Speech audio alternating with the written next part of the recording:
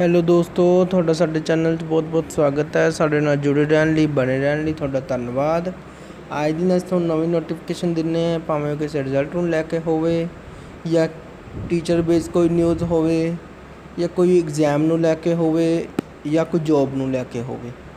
ਅੱਜ ਦਿਨ ਅਸੀਂ ਤੁਹਾਨੂੰ ਨਵੀਂ ਤੋਂ ਨਵੀਂ ਨੋਟੀਫਿਕੇਸ਼ਨ ਦਿੰਨੇ ਆ ਤੇ ਅੱਜ ਅਸੀਂ ਤੁਹਾਡੇ ਲਈ ਲੈ ਕੇ ਆਏ ਆ ਟੀਚਰ ਬੇਸ ਨਿਊਜ਼ ਹੈ ਇਹ।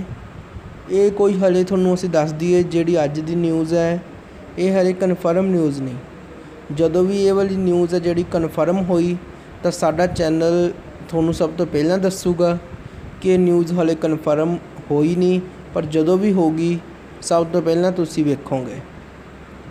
ਇਹ ਨਿਊਜ਼ ਇਹ ਹੈ ਕਿ ਇਹ ਗੱਲ ਅਸੀਂ ਕਿਸੇ ਤੋਂ ਸੁਣੀ ਹੈ ਕਿ ਜਿਹੜਾ ਠੇਕਾ ਸਿਸਟਮ ਹੈ ਸਰਕਾਰ ਦਾ, ਖਾਸ ਕਰਕੇ ਟੀਚਰ ਦੇ ਵਿੱਚ ਜਦੋਂ ਟੀਚਰ ਦੀ ਜੋਬ ਮਿਲਦੀ ਹੈ, ਭਾਵੇਂ ਉਹ ਪ੍ਰਾਇਮਰੀ ਟੀਚਰ ਦੀ ਹੋਵੇ ਜਾਂ ਫਿਰ ਬੀਐਡ ਵਾਲੇ ਟੀਚਰਸ ਦੀ ਹੋਵੇ, ਤਾਂ ਉਹਨਾਂ ਨੂੰ ਠੇਕੇ ਤੇ ਰੱਖਿਆ ਜਾਂਦਾ ਕਈ ਕਹਿ ਲਓ 2 ਤੋਂ 3 ਸਾਲ ਤੱਕ ਉਹਨਾਂ ਨੂੰ ਠੇਕੇ ਤੇ ਰੱਖਿਆ ਜਾਂਦਾ ਉਹਨਾਂ ਦਾ ਜਿਹੜੀ ਪੇ ਹੈ, ਤਨਖਾਹ ਹੈ, ਉਹ ਵੀ ਘੱਟ ਹੁੰਦੀ ਹੈ। ਪਰ ਹੁਣ ਸੁਣਨ 'ਚ ਆਇਆ ਹੈ ਕਿ ਜਿਹੜਾ ਠੇਕਾ ਸਿਸਟਮ ਹੈ, ਉਹ ਸਰਕਾਰ ਖਤਮ ਕਰੇਗੀ। ਖਤਮ ਕਰ ਸਕਦੀ ਹੈ ਜਾਂ ਕਰ ਦਿੱਤਾ ਹੈ, ਇਹ ਹਲੇ ਕਨਫਰਮ ਨਹੀਂ। ਕਨਫਰਮ ਅਸੀਂ ਫਿਰ ਦੱਸ ਦਈਏ ਕਿ ਜਦੋਂ ਵੀ ਹੋਇਆ, ਅਸੀਂ ਸਭ ਤੋਂ ਪਹਿਲਾਂ ਤੁਹਾਨੂੰ ਦੱਸਾਂਗੇ, ਇਹ ਉੱਡਦੀ ਜੀ ਖਬਰ ਹੈ ਤੇ ਅਸੀਂ ਤਾਂ ਹੀ ਤੁਹਾਨੂੰ ਦੱਸ ਰਹੇ ਹਾਂ ਕਿ ਠੇਕਾ ਸਿਸਟਮ ਹੈ ਜਿਹੜਾ ਸਰਕਾਰ ਹੁਣ ਚੱਕੇਗੀ ਜਾਂ ਚੱਕਣ ਵਾਲੀ ਹੈ ਜਾਂ ਚੱਕ ਦਿੱਤਾ ਇਹ ਹਲੇ ਕਨਫਰਮ ਨਹੀਂ ਪਰ ਅਸੀਂ ਤੁਹਾਨੂੰ ਦੱਸ ਦਈਏ ਕਿ ਇਹ ਹੈ ਕਿ ਜੇ ਠੇਕਾ ਸਿਸਟਮ ਚੱਕਿਆ ਗਿਆ, ਕਿ ਠੇਕੇ ਤੇ ਜੋ ਟੀਚਰ ਨੂੰ ਭਰਤੀ ਕੀਤੀ ਜਾਂਦੀ ਹੈ, ਨੌਕਰੀ ਦਿੱਤੀ ਜਾਂਦੀ ਹੈ, ਤਾਂ ਫਿਰ ਜਿਹੜੇ ਟੀਚਰਾਂ ਦੀ ਨਵੀਂ ਭਰਤੀ ਹੋਇਆ ਕਰੇਗੀ ਪੁਰਾਣੇ ਜਿਹੜੇ ਲੱਗੇ ਆ ਤੁਹਾਨੂੰ ਅਸੀਂ ਦੱਸ ਦਈਏ, ਉਹਨਾਂ ਤੇ ਨਹੀਂ ਲਾਗੂ ਹੋਣਾ।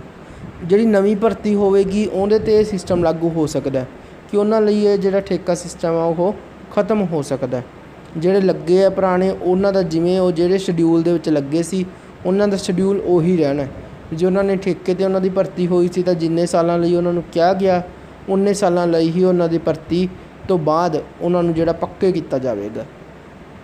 ਜਿਹੜੀ ਨਵੀਂ ਭਰਤੀ ਹੋਵੇਗੀ, ਉਹਨਾਂ ਤੇ ਸਿਸਟਮ ਲਾਗੂ ਹੋ ਸਕਦਾ ਜੇ ਇਹ ਹੋ ਗਿਆ ਤਾਂ ਤੁਸੀਂ ਦੇਖੋ ਕਿ ਜਿਹੜੇ ਨਵੀਂ ਭਰਤੀ ਹੋਵੇਗੀ ਟੀਚਰਾਂ ਦੀ, ਉਹਨਾਂ ਦੀ ਜਿਹੜੀ ਤਨਖਾਹ ਹੈ, ਉਹ ਪੱਕੀ ਤਨਖਾਹ ਹੋਵੇਗੀ। ਜਿਹੜੀ ਠੇਕੇ ਵਾਲੀ ਤਨਖਾਹ ਹੈ, ਉਹ ਨਹੀਂ ਮਿਲੇਗੀ ਉਹਨਾਂ ਨੂੰ। ਸਿੱਧੀ ਪੱਕੀ ਤਨਖਾਹ ਹੀ ਮਿਲੇਗੀ। ਹੋਰ ਵੀ ਕੋਈ ਨਿਊਜ਼ ਆਈ, ਤਾਂ ਉਹ ਵੀ ਅਸੀਂ ਤੁਹਾਨੂੰ ਦੇਵਾਂਗੇ। ਤੁਹਾਨੂੰ ਫਿਰ ਦੱਸ ਦਈਏ ਕਿ ਜਦੋਂ ਵੀ ਇਹ ਚੀਜ਼ ਕਨਫਰਮ ਹੁੰਦੀ ਹੈ, ਇਹ ਨਿਊਜ਼ ਕਨਫਰਮ ਹੁੰਦੀ ਹੈ, ਸਭ ਤੋਂ ਪਹਿਲਾਂ ਅਸੀਂ ਤੁਹਾਨੂੰ ਦੇਵਾਂਗੇ। ਬਨੇ ਰਹੋ ਸਾਡੇ ਨਾਲ। ਬਹੁਤ ਬਹੁਤ ਧੰਨਵਾਦ।